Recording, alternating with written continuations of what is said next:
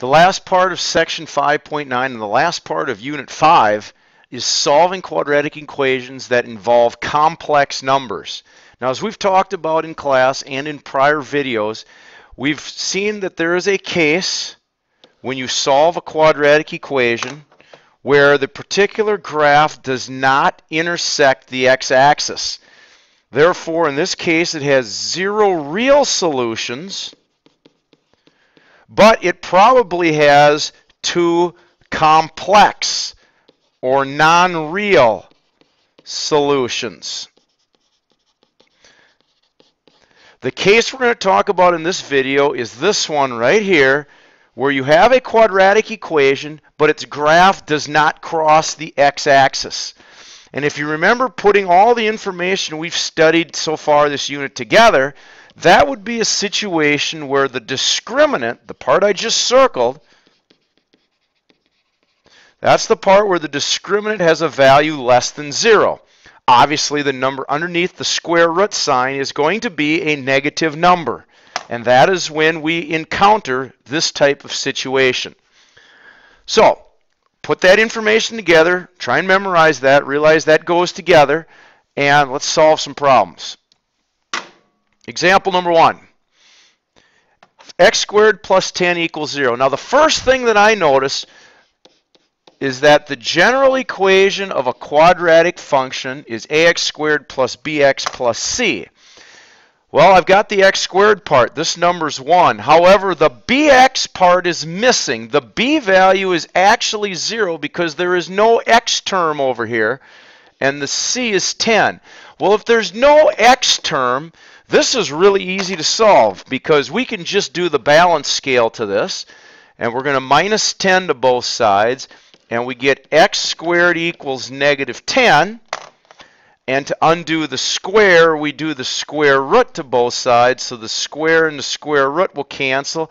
And I get x equals, and remember, anytime you solve an equation by doing the square root, there are two answers, the positive and the negative answer. I'll write that down for you. When solving a, I'll write the word a, a squared equation,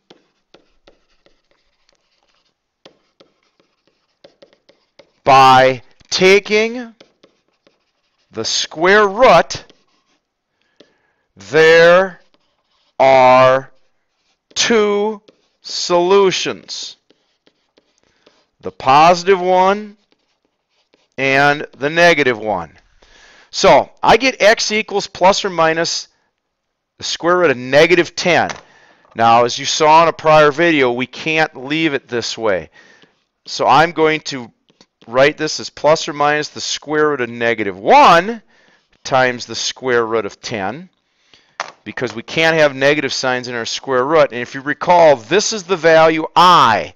So therefore, I get the two solutions to this problem are plus or minus i square roots of 10 because that's what the square root of negative 1 is. And that's my answer to example number 1. Example number 2. Same idea. x squared plus 28 equals 0. Well, I'm missing the bx part. The b value is 0, so therefore I can just solve this with the balance scale.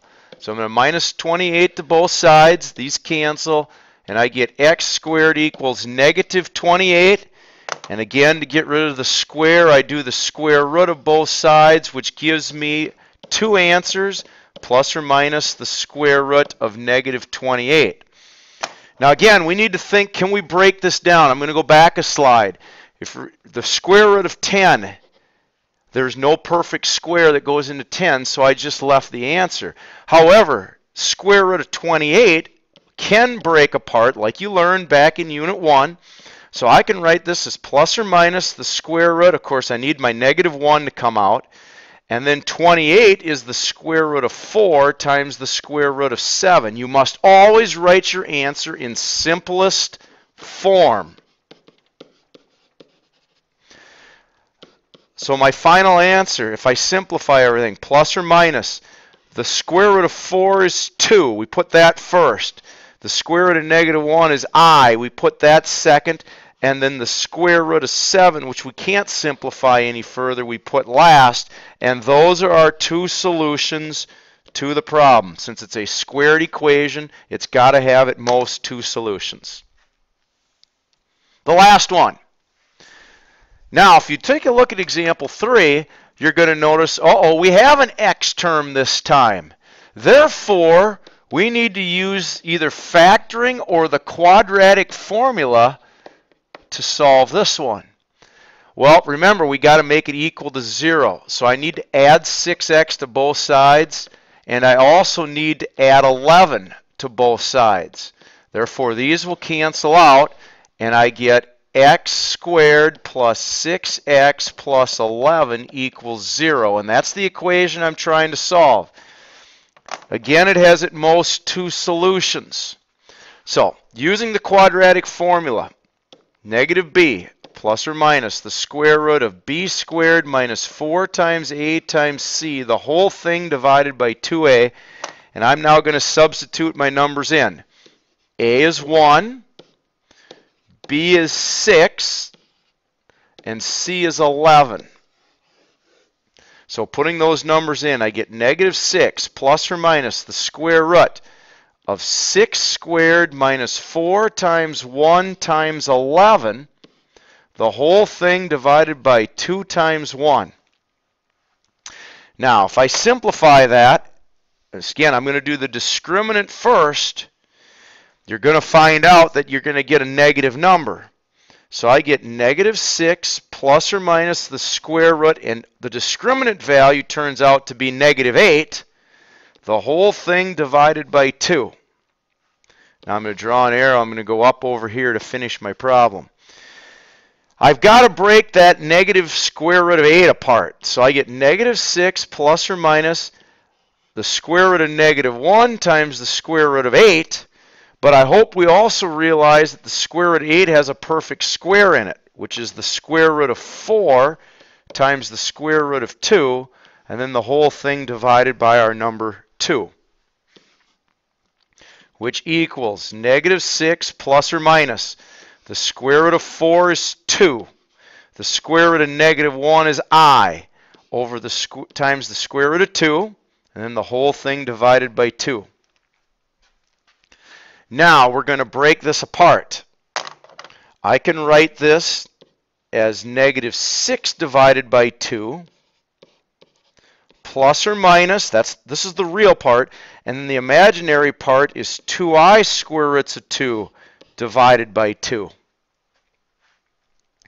Well, I'm running out of room, so I'm going to do a little erasing here. I'm actually going to go back up to the top.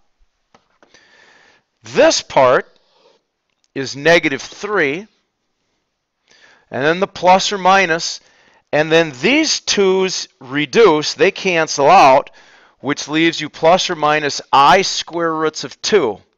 And it's okay to leave your answer like that, or if you're going to break them apart, the first answer to this problem is negative 3 plus i square roots of 2, and the second answer would be negative 3 minus i square roots of 2 which is maybe the better form to write your answer in since we know that there was two solutions to the problem.